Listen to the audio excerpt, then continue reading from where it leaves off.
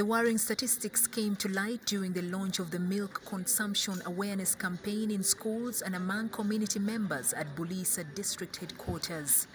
The campaign is being spearheaded by the Dairy Development Authority.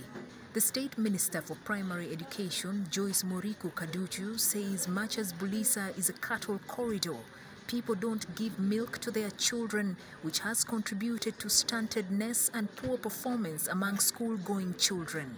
We are launching milk drinking awareness campaign. We are here to send a message to the people in these cattle corridor country districts.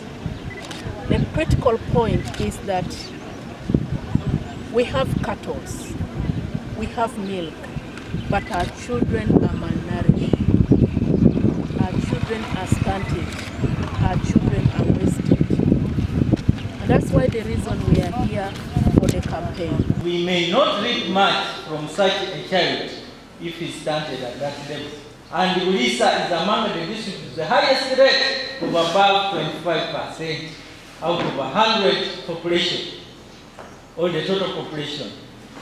It's against that background that uh, the district has appreciated uh, we have a food and nutrition policy. We support from Manager World Vision, I want to request you to stand up, for especially for I left you out with intention, you stand up. Meanwhile, Ibanda residents have decried corruption in the police and courts of law. The Deputy Chief Justice Richard Buteera recently launched the Eva and the Chief Magistrates Court.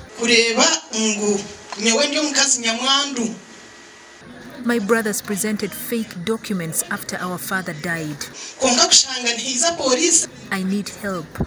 I have nowhere to go. sente omuribanda utina sente takugamba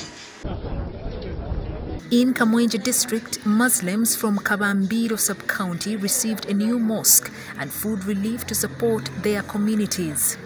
The food was donated by One Nation Uganda, a non-profit organization. uh, to see that our brothers and sisters Uganda get knowledge.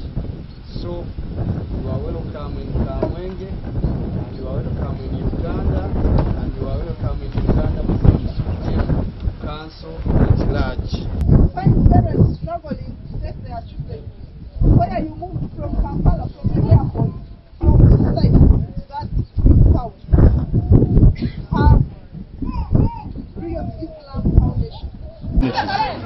Know, I understand in Uganda it is very difficult to get uh, masjids built, mosques built, but also to create a community where people have somewhere to come together, where they can be fed, they can be looked after. If they have problems, they can come and you can help them.